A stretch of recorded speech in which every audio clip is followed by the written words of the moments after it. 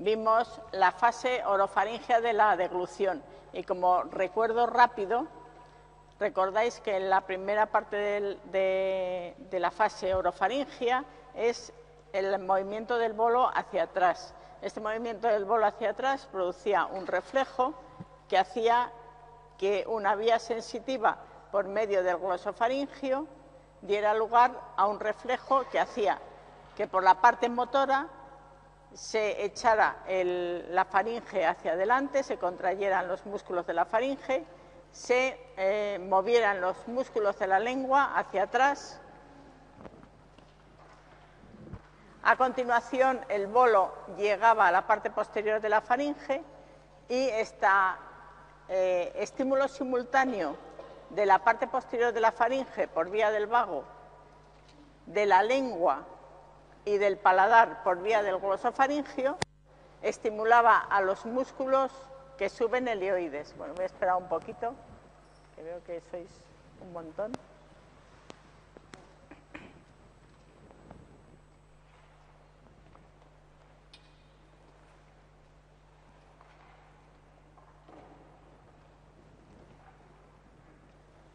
Estaba, a los que llegan ahora, en un recuerdo rápido de la fase orofaringea de la deglución, que es nada más que un recuerdo rápido. Eh, estas vías sensitivas simultáneas suben el ioides, el músculo ioides hacia arriba y al subir el músculo ioides se desplaza la tráquea, todos los eh, cartílagos traqueales hacia arriba.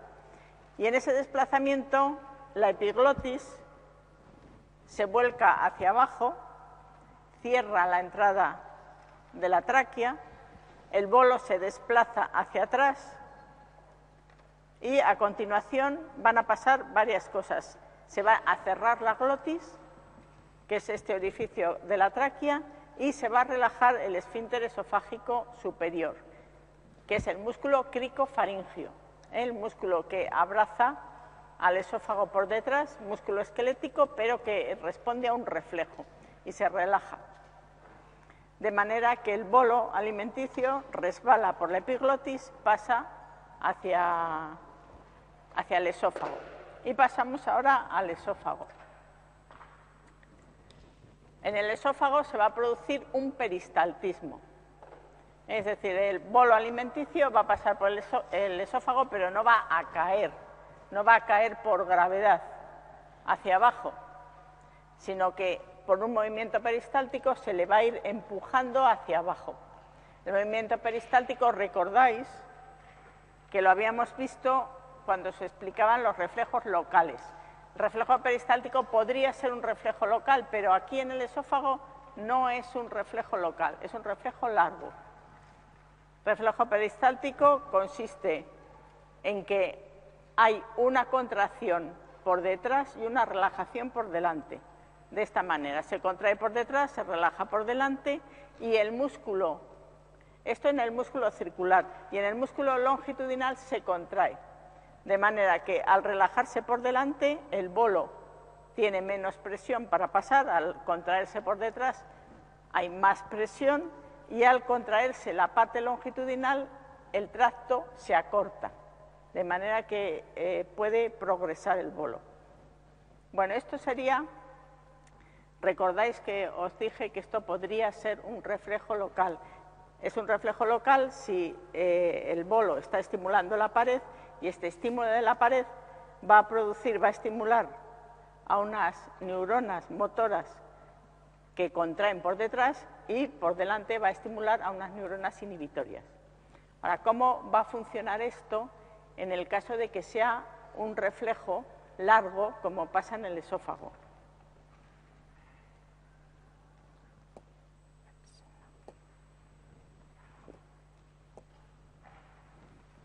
Bueno, pues tenemos el esófago, que es esta estructura que tenemos eh, a continuación de la faringe, que viene delimitada en la parte superior por el esfínter esofágico superior, el la U de upper, upper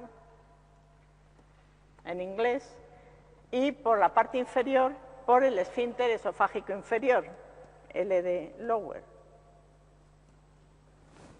Este esfínter esofágico inferior es un músculo circular ensanchado que deja en el centro un orificio y este orificio es el cardias. Bien, tenemos que el esófago, la primera tercera parte del esófago es músculo esquelético, lo que está aquí en rojo, músculo esquelético, y la parte eh, inferior es músculo liso.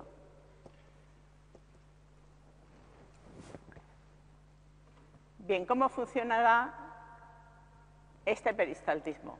Peristaltismo primario es el normal, el que se produce eh, nada más deglutir, por estímulo sensitivo de las paredes de la faringe.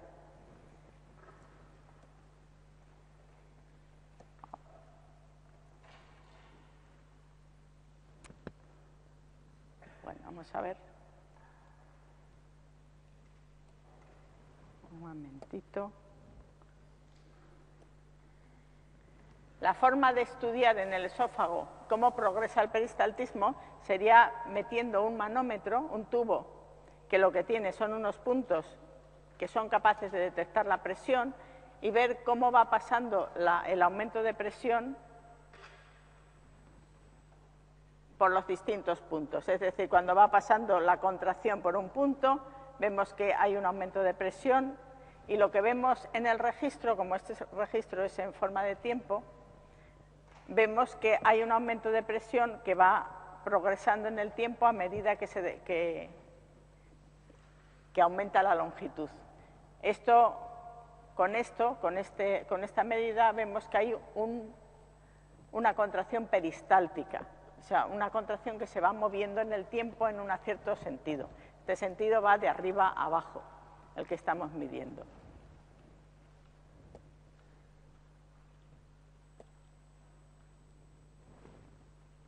Bueno, vamos a ver cómo medimos con este catéter que introducimos hacia abajo. Vamos a ver cómo es la deglución, una deglución normal, con lo que decía que es un peristaltismo primario. Al meter el catéter dentro del esófago, medimos en varios puntos, medimos en un punto que es la faringe, y lo que quiero que os prestéis atención aquí en estas medidas es que en este punto que es la faringe, fijaros que antes de la deglución la presión es cero. Igual quiere decir igual a la presión atmosférica. No hay eh, ningún aumento de presión ahí. Si lo medimos en el esfínter esofágico superior, fijaros aquí que lo que quiero que os prestéis atención es que hay una presión siempre antes de la deglución. Quiere decir que este esfínter está tónicamente contraído y eso supone un aumento de presión. En estas zonas del interior del esófago vemos que la presión es cero. Incluso si lo viéramos con más detalle, en algunos momentos sería incluso por debajo de cero, porque está dentro de la cavidad torácica, de manera que en, el aumento de la caja torácica disminuyen las presiones y habría una pequeña disminución de presión. Pero vemos que es cero. Y aquí en el esfínter esofágico inferior vemos que la presión vuelve a ser positiva. Eh, tenemos presión, o sea, ahí está tónicamente contraído. ¿Qué es lo que pasa en la deglución, que es esta línea que tenemos aquí? En la deglución tenemos un aumento de presión en la faringe por el paso del bolo, y en el esfínter esofágico superior vemos que disminuye la presión, es decir, se relaja, esta es la relajación previa, y después un aumento de presión debido al paso del bolo. En los distintos sitios del esófago vemos aumentos de presión, cada vez en un tiempos un poquito más largos, y en el esfínter esofágico inferior lo que vemos es que disminuye la presión prácticamente casi eh, después de la deglución, inmediatamente después, y después de un tiempo relajado vuelve a subir la presión.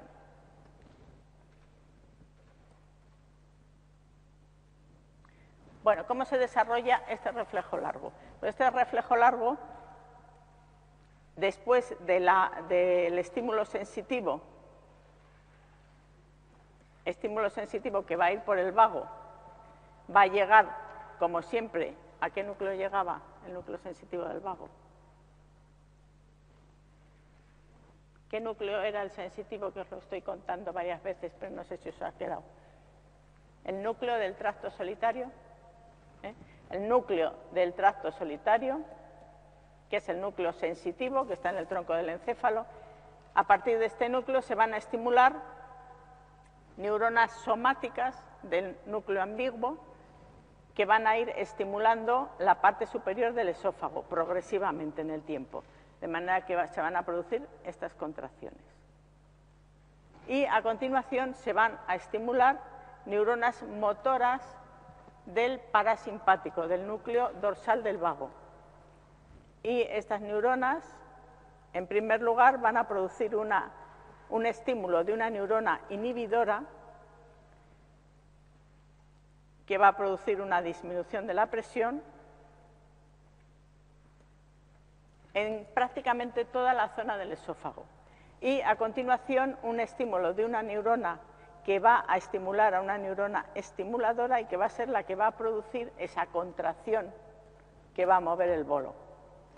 Vale, aquí os estoy contando que prácticamente en todo el esófago hay una inhibición, mientras que nosotros lo que veíamos en esta gráfica que teníamos aquí es que solamente veíamos una inhibición en el esfínter esofágico inferior. Sin embargo, no vemos una inhibición aquí porque no hay aumento de presión, porque está relajado. O sea, todo el esófago está relajado y por lo tanto esta inhibición no la vemos. Sin embargo, por experimentos que se han hecho, se ha visto que esa inhibición es en todo el esófago.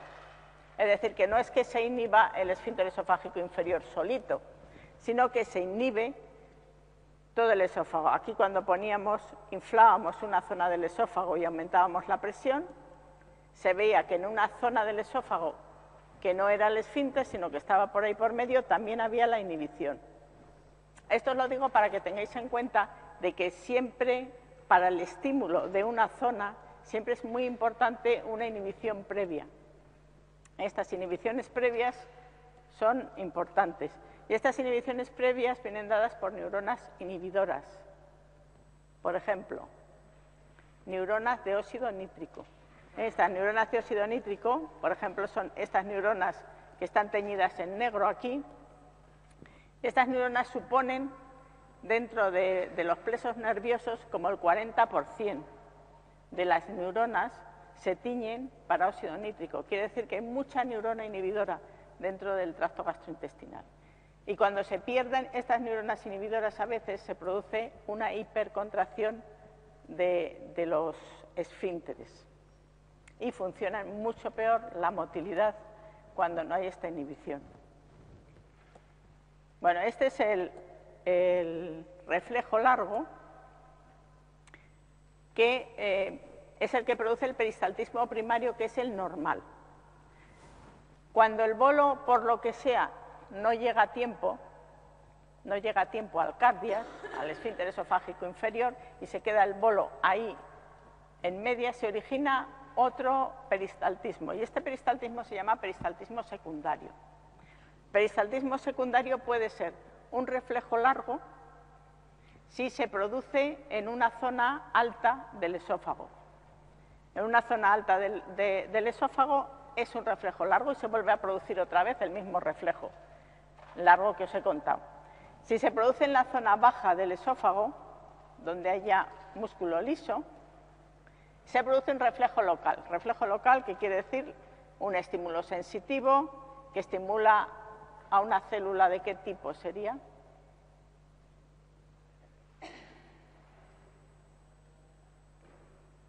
hay una presión y esa presión estimula unas células que producían un neurotransmisor, ¿os recordáis?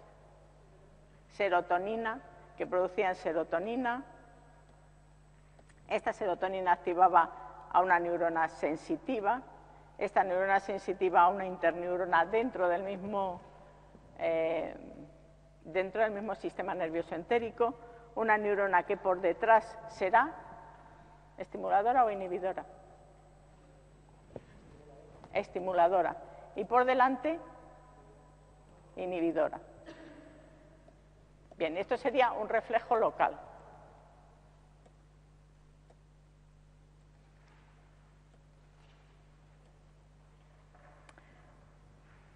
Bueno, por medio de esta manometría nosotros podemos ver características que tiene la deglución. Por ejemplo, podemos ver que cuando deglutimos alimentos con agua, que están húmedos, vemos que hay mucha más fuerza de contracción de, la onda peristáltica que cuando ese bolo está seco.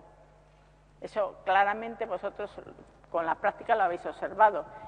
Si eh, tomáis alimentos muy secos parece como que se os atascan, como que, no, que no pasan hacia abajo. Y ese no pasar hacia abajo es porque la onda peristáltica es más débil. ¿Por qué puede ser más débil la onda peristáltica? Cuando está poco mojado, cuando tiene poco líquido.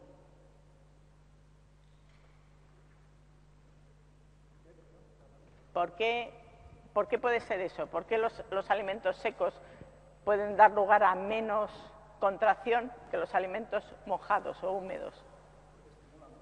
¿Y por qué estimularán menos? Hay un estímulo que es de presión por mecanorreceptores y ese estímulo será igual.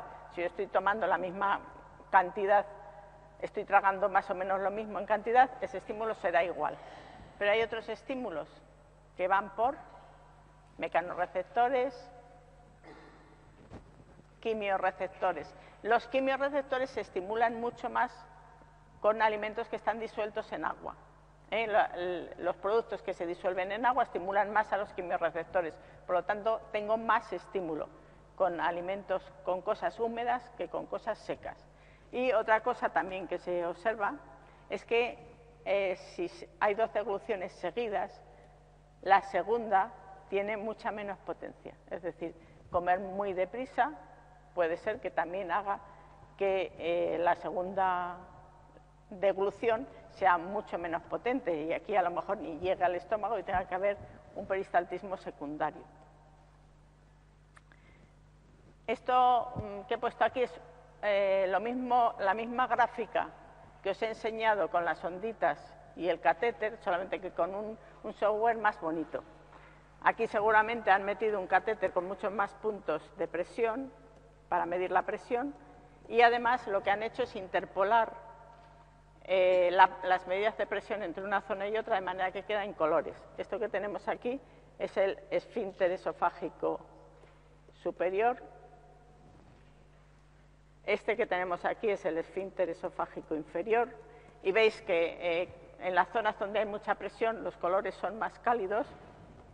Vemos que hay una presión aumentada en el esfínter esofágico superior con respecto al... y en el inferior también vemos que cuando se deglute, que es aquí, hay eh, una disminución de la presión, una relajación, y luego podemos ver en el tiempo cómo hay ese aumento de presión en el tiempo a lo largo del esófago, porque todo esto es el esófago, esta dilatación o esta relajación que hay en el esfínter esofágico inferior, e incluso podemos ver más claramente pues, que hay zonas del esófago en las que la fuerza de contracción es un poquito menor, como en esta zona que posiblemente sea la unión entre la parte esquelética y la parte de músculo liso.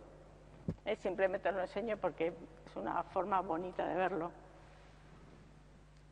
Bueno, este reflejo largo tiene algunas eh, variaciones, como esta que tenemos aquí, y es que cuando hay un aumento de presión en el estómago, este aumento de presión en el estómago por un reflejo largo también, un estímulo sensitivo, va a ir al núcleo del tracto solitario, ese núcleo sensitivo del vago, va a estimular al núcleo dorsal del vago, a estas neuronas inhibidoras, y se va a producir una relajación del esfínter esofágico inferior. Esto, por ejemplo, cuando hay un aumento de presión en el estómago puede dar lugar o bien a eructos, que haya salida hacia afuera por este reflejo o bien al reflejo del vómito, ¿eh? que también es parte de este reflejo, un reflejo largo.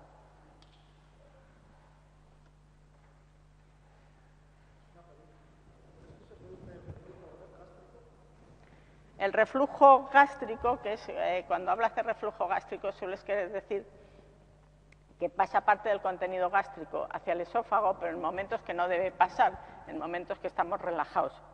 Y eso suele deberse más o que no, se, no está suficientemente bien cerrado el esfínter porque el tono es bajo o bien que por algún motivo el estómago ha subido un poquito hacia la cavidad torácica y entonces el esfínter ha pasado a estar dentro de la cavidad torácica, lo que se llama una hernia de hiato. ¿eh? Y esta hernia que sube hacia arriba hace que este esfínter tenga menos fuerza de contracción porque está en una zona de presión negativa. En una zona de presión negativa eh, está más dificultada su contracción. Puede ser tanto que esté en buen sitio, que no esté en el tórax sino en el abdomen, y entonces eh, la fuerza de contracción sea poca, o puede ser que esté un poco subido hacia arriba, por ejemplo, en el caso de la obesidad, una obesidad grande, puede hacer que, o, un embarazo, por ejemplo, puede hacer que el, estómago esté muy subido hacia arriba y que entonces este esfínter quede dentro del tórax y haya más facilidad que pase el contenido gástrico. Bueno, y con esto vamos a pasar, eh, pasamos ya el cardias y eh, nos encontramos dentro del estómago.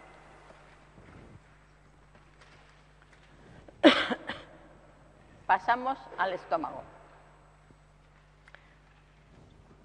Vamos a ver que, como siempre en fisiología, eh, la parte anatómica los fisiólogos la resumimos muchísimo más.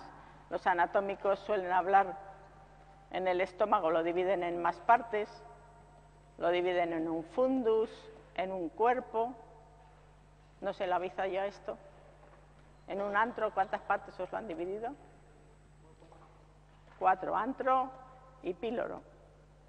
Vale, pues nosotros lo vamos a, los fisiólogos lo vamos a dividir en dos, que van a ser una parte proximal y una parte distal. Y la característica por las cuales la dividimos así es por su motilidad. La parte proximal del estómago es una parte en la que no hay ritmo eléctrico basal. Es una parte poco contráctil. ¿Qué era el ritmo eléctrico basal? El que producían las células de cajal, pero lo vemos en todas las células musculares con las que conectan.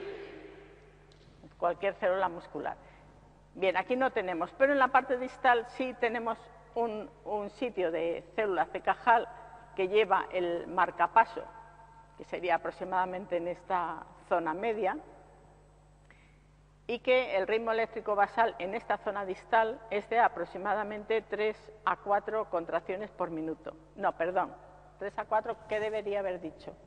He dicho contracciones, pero he metido la pata. ¿Cómo? Despolarizaciones. O dicho mejor, ondas lentas ondas lentas por minuto. Porque ya veremos que puede ser contracciones o no puede ser, o pueden no ser contracciones. Bien, el, el estómago, fundamentalmente la parte proximal, es una zona de almacén donde nosotros almacenamos el contenido, mientras que la zona distal es la zona de motilidad que va a valer sobre todo para la digestión mecánica la digestión mecánica de lo que introducimos, de ese bolo que introducíamos en la boca hacia el estómago. Ahora, ese bolo cuando se introduce en el estómago y se mezcla con el contenido gástrico, lo llamamos quimo. ¿eh? Ahora lo habíamos llamado bolo, aquí lo vamos a llamar quimo. Y a partir de ahora es el quimo.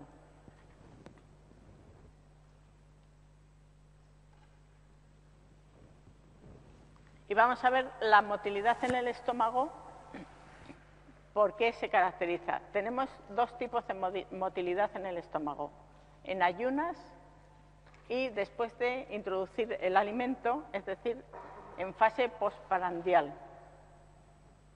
En ayuno vamos a tener una cosa que llamamos complejo mayor migratorio. Y el complejo mayor migratorio se caracteriza porque por estar eh, cuando ya llevamos bastante tiempo en ayunas, una hora aproximadamente en la, que el, estómago no se mueve, no se contrae prácticamente. Otra hora, a continuación, en la que el estómago tiene pequeñas contracciones de vez en cuando. Y después, unos cinco minutos, en la que se producen unas contracciones muy fuertes y muy frecuentes. Bueno, ¿como cuánta frecuencia pueden tener? Tres. No pueden tener más frecuencia que tres por minuto.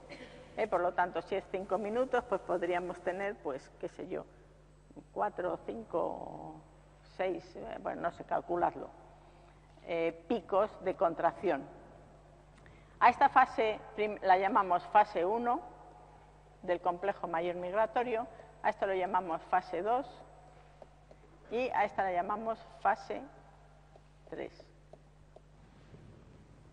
Y se vuelve a repetir después otra hora de la fase 1, otra hora de la fase 2 y así sucesivamente. Bien, esto es cuando se están ayunas el movimiento típico. El movimiento postprandial después de la comida, en ese movimiento hay varias fases que vamos a hablar después. Va a haber una relajación, va a haber una acomodación gástrica y luego va a haber unas contracciones que son fásicas. Y esas contracciones fásicas, cuando las vemos en comparación con el complejo mayor migratorio, vemos que generan menos presión y son más irregulares. Es decir, es poco probable que en estas contracciones lleguemos a tener tres contracciones por minuto. Posiblemente sean menos. Como máximo serían tres, pero eh, son menos frecuentes y menos intensas, generan menos presión. Y generan menos presión porque hay unos fenómenos inhibitorios eh, que los acompañan.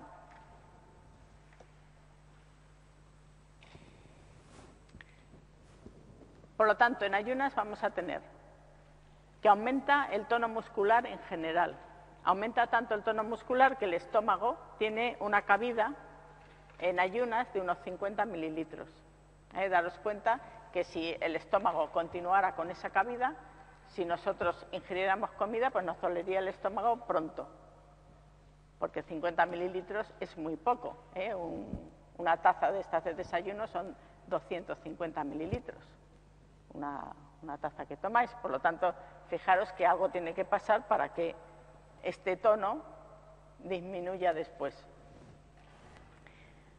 Va a haber el complejo mayor migratorio del que ya hemos hablado y además en este complejo mayor migratorio, cuando esta fase 3 se va a ir desplazando y va a llegar al píloro, el esfínter pilórico se va a dilatar se va a dilatar tanto que por ese esfínter pilórico pueden pasar hasta monedas, por ejemplo, de un euro. ¿eh? Daros cuenta de que si un niño pues, se traga una moneda, entonces pues la solución no es decir, come, come, que a ver si con la comida empujamos la moneda y sale por el otro estilo. No, mejor déjale en ayunas porque en ayunas la moneda tiene posibilidades de salir. Eh, este complejo motor migratorio es una especie de barrido, una especie de limpieza, que lo que hace es que las cosas que se han quedado acumuladas en el estómago van a pasar hacia el intestino, se van a barrer en sentido anal. Y por lo tanto va a haber esa dilatación del píloro.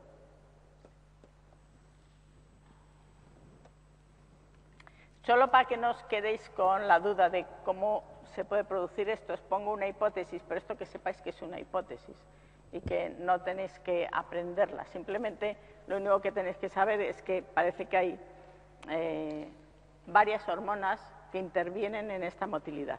Una de las hormonas que la dan como posible es la grelina. ¿eh? La grelina es una hormona que la vais a ver este, durante el curso en varios sitios. Vamos a ver un poquito aquí en digestivo, pero muy poquito, y luego la vais a ver más en endocrino. La grelina se produce en el estómago por unas células neuroendocrinas que yo me parece que os las he llamado GR porque a mí me parece más fácil recordar grelina con GR, pero luego veréis que a lo mejor en, en organografía os la dan otro nombre, como por ejemplo esta que pone aquí, XACEL. Bueno, pues eh, muchas de estas células enteroendocrinas tienen varios nombres. mala suerte, porque y, se conservan todos los nombres. Estas células productoras de grelina se estimulan cuando hay hambre. es decir, cuando el estómago está vacío, producen grelina. Y esta grelina va a actuar, por un lado, en terminaciones nerviosas, que van a ir por vía vagal a estimular, y también van a ir por vía hormonal a actuar sobre cualquier otra célula muscular. Parece ser que por vía vagal estimulan al nervio vago, que va a inducir esta fase 2, y por eh, la vía sanguínea van a inducir que se produzca la fase, el final de la fase 2. Y hay unas células enteroendocrinas, que son las células M, no son las seis células M de las que os han hablado ayer. Ayer os han hablado de las células M del sistema inmunitario que están en la mucosa intestinal. Estas no son esas. Se llaman M también, pero son las M enteroendocrinas, que producen motilina. ¿eh? Son completamente distintas. Son unas células que simplemente producen motilina y la motilina se secreta y produce esta fase 3 se, secreta justamente coincidente con la fase 3. Bueno, esto que sepáis que es simplemente una hipótesis. Eh, aquí lo que vemos es la actividad motora en el ayuno para, que, eh, para luego compararla con lo que pasa después de comer y lo que tenemos es un catéter que se ha introducido en el estómago con eh, este catéter tiene tres puntos de presión en el antro y otros tres puntos de presión, de medida de presión en el duodeno. Vemos aquí, bueno, casi no se ve porque hay mucho tiempo aquí eh, en el registro, pero vemos que la fase 3 en el antro, si la viéramos con más detalle, veríamos que son unas cuantas ondas que van, prolongando, que van desplazándose en el tiempo en cada uno de los sitios y vemos que en el duodeno se continúa el complejo mayor migratorio, la fase 3. Y vemos que también se desplaza en el tiempo, luego hay un peristaltismo. O sea, el complejo mayor migratorio se produce en el estómago y se propaga hacia el intestino. Y si lo viéramos con más detalle, lo que veríamos es que el complejo mayor migratorio del estómago tenía tres ondas, tres contracciones por minuto, mientras que el del duodeno veríamos que tiene 12. Es decir, el ritmo eléctrico basal del duodeno es mayor que el del estómago.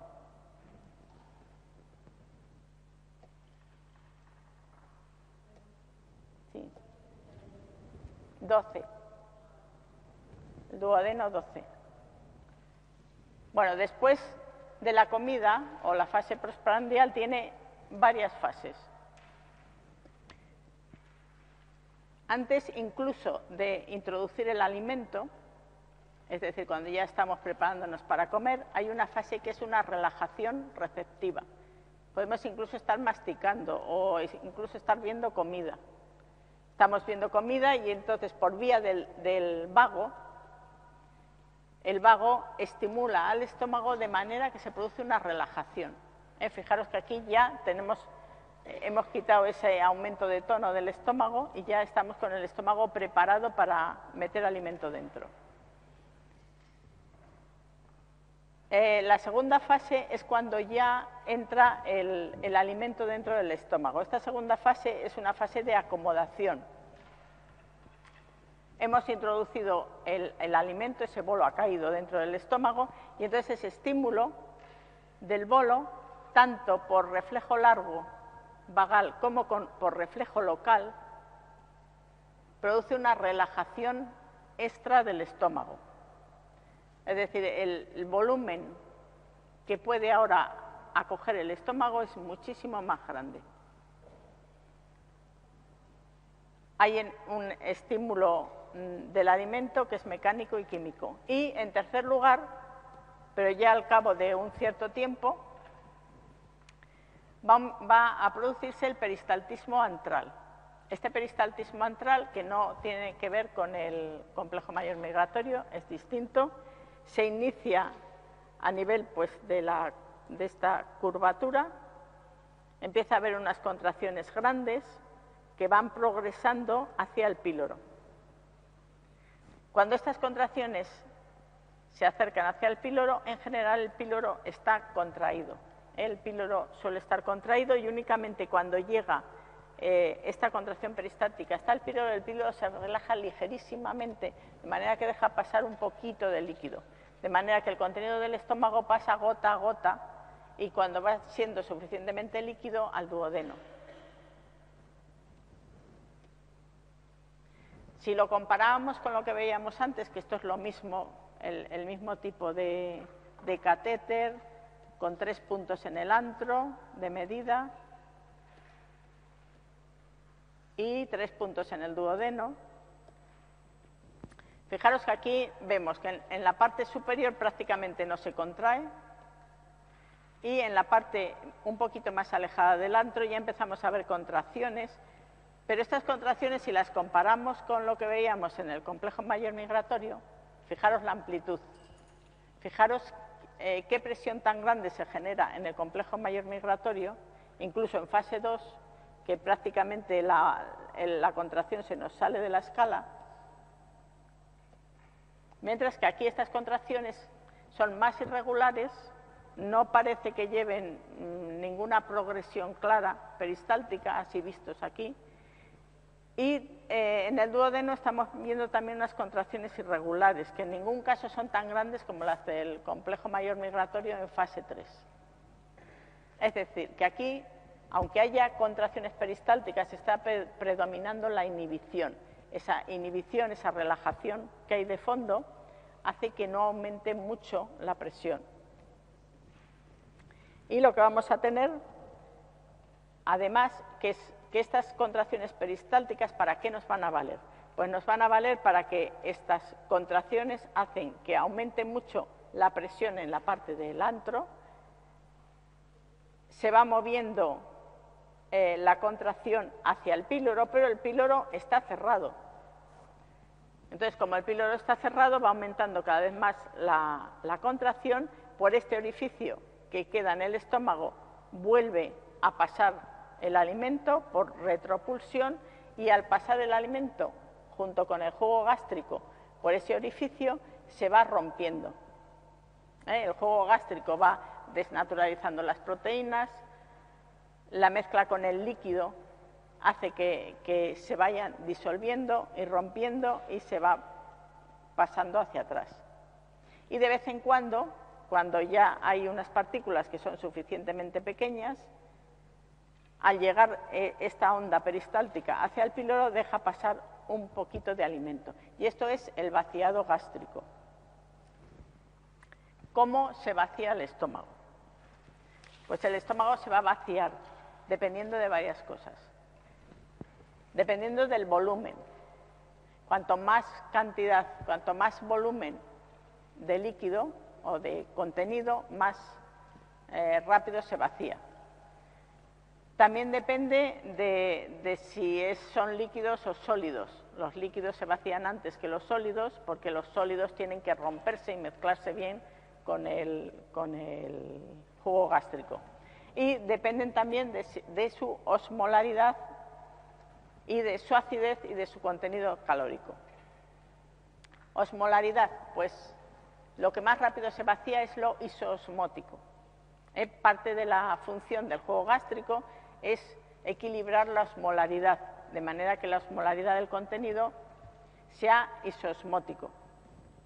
Por ejemplo, si tomamos una bebida isotónica, que es lo que tenemos aquí, vemos que se vacía, que es lo que más rápidamente se vacía. Se vacía incluso más rápido que lo hipotónico y más rápido que una bebida hipertónica. Por ejemplo, si tomamos una bebida muy azucarada, tarda más en vaciarse. Esto para los deportistas es importante porque eh, en los deportistas si necesitan hidratarse es más rápido la absorción del agua isotónica que de las aguas hipo o hipertónicas. Eh, esto que tenemos aquí, que es la bebida dulce, fijaros que esta bebida dulce se vacía en dos horas, mientras que esta tarda nada más que media hora. ¿sí? El líquido más rápido que el sólido y lo isotónico, o sea, el líquido isotónico más rápido que el líquido hipo o hipertónico. y igualmente se va a absorber también más rápido. Tanto la salida del estómago como la absorción se acelera. Bueno, aquí tenemos el vaciado de líquidos, para que lo veáis, y, comparado con los sólidos, veis que en los sólidos, aquí a las a los varias horas todavía no se ha vaciado.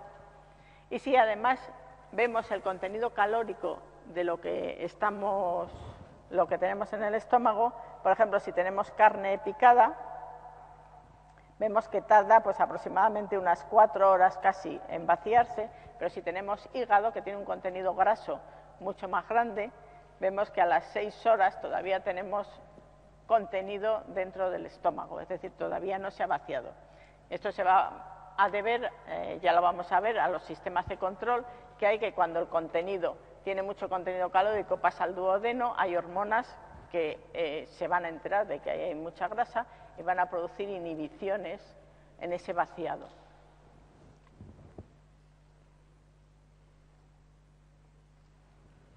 Bien, y vamos a ver uno de los reflejos que son importantes a nivel del estómago, que es el reflejo del vómito.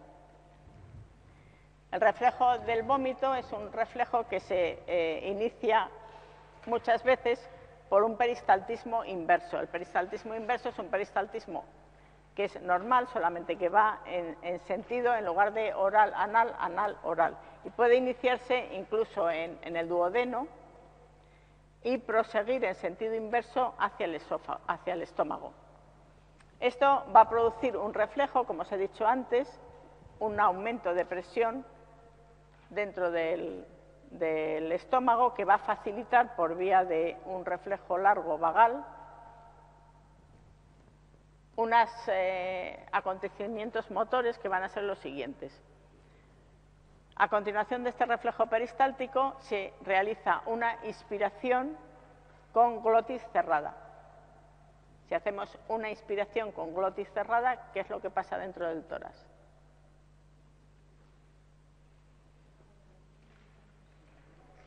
Se disminuye la presión porque si eh, aumentamos el volumen del tórax pero no dejamos entrar aire, si dejamos entrar aire, pues bueno, es negativo pero se equilibra. Pero si no dejamos entrar aire, pues todavía la presión es mucho más negativa.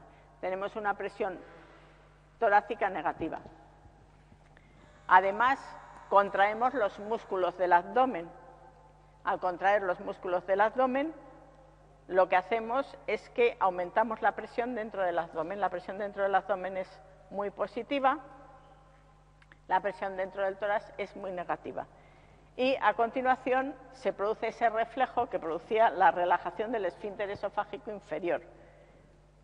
Esfínter esofágico inferior y relajación del esfínter esofágico superior y hacen que por esa diferencia de presiones salga el contenido hacia afuera y se produzca el vómito. ¿Qué cosas nos producen el vómito? Pues puede ser acontecimientos que estén pasando dentro del estómago o del intestino, algún tipo de estímulo que esté estimulando el vago y por medio del vago llegaría a qué núcleo sensitivo? El núcleo del tracto solitario, ¿eh? ¿recordáis? Núcleo del tracto solitario, que es el núcleo sensitivo del vago, que está en el bulbo, en la parte posterior del bulbo, y de esta parte posterior del bulbo se activarían esos centros reflejos que producirían el vómito. El centro del vómito estaría en un sitio más o menos poco bien mm, localizado, pero que está en la parte anterior del bulbo. Se estimula el centro del bulbo, pero también se puede estimular por otras zonas cercanas. Por ejemplo, se estimula por los núcleos vestibulares. Los núcleos vestibulares, que son los que detectan el equilibrio, por ejemplo, si vais en, barco o, algunas personas que van en coche, ese, movimiento estimula eh, los, núcleos vestibulares que van a dar lugar a ese reflejo del vómito.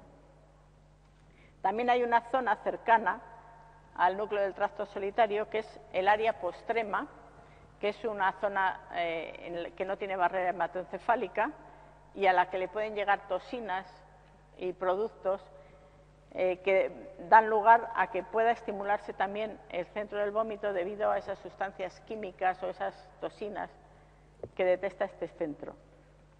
Y además también se puede estimular de, forma central, es decir, cuando veis una cosa que os parece asquerosa o, repulsiva, pues eh, se puede estimular este centro del vómito igualmente por vía central y puede producirse el vómito.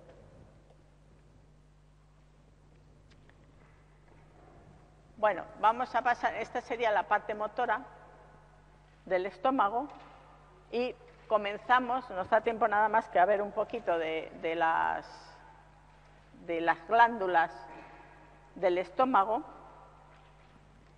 Las glándulas gástricas son unas glándulas que se introducen dentro de la mucosa del estómago. Eh, ¿Habéis estado esto en organografía? Ya. Bien, entonces prácticamente todo esto seguramente que ya lo sabéis, os lo recuerdo nada más.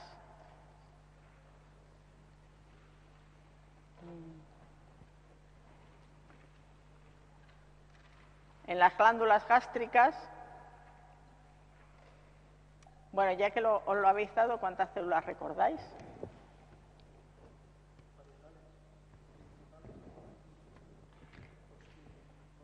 Parietales, ¿dónde las localizaríais?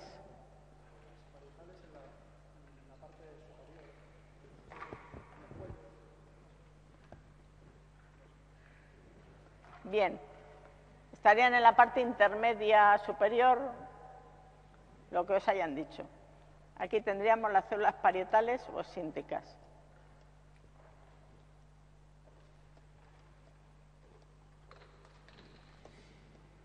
¿Para qué valen? Producen ácido clorhídrico, el bicarbonato, bueno, pues el bicarbonato... Bien, ¿qué es lo que producen al jugo gástrico? Ácido clorhídrico, vamos a tener cloro, ácido y qué más. Y el factor intrínseco.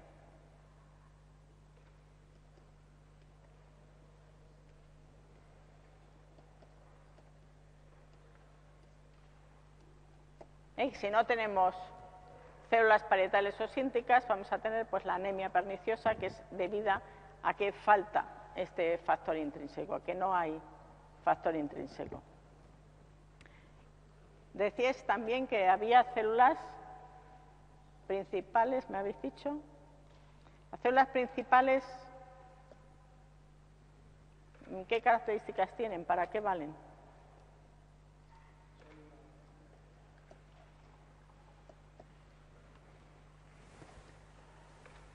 producen sustancias al juego gástrico, ¿sí?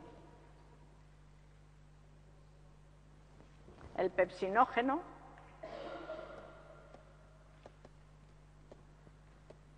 que después, por acción del ácido clorhídrico, eh, será pepsina. ¿De acuerdo? ¿Qué más células tenemos? Endocrinas. Esas células endocrinas, eh, ¿habéis visto ¿Qué tipos de células son? Células endocrinas, que tienen una parte apical más pequeña, una parte basal más grande y que producen sustancias sobre todo hacia el lado de la sangre, hacia, la lámina propia. Gastrina. Bueno, la histamina, bien, bueno, ¿os la llaman endocrina también? bueno, bueno, es que ahora mismo hay poca diferenciación entre lo que es endocrino, lo que es paracrino y lo que es nervioso. Antiguamente eh, hacíamos una clasificación muy separada de lo endocrino, paracrino y nervioso y ahora como todo es un lío, eh, lo llaman neuroendocrino y así no se meten en complicaciones. Y meten a la histamina, que realmente es paracrina, claramente, junto con lo endocrino. Bien, vale, me vale la clasificación. Tendríamos gastrina, tendríamos histamina, aunque la estamina ya no es una célula de este tipo, es una célula que no da prácticamente hacia, hacia la parte del interior de la glándula. ¿Y qué células son las que producen histamina?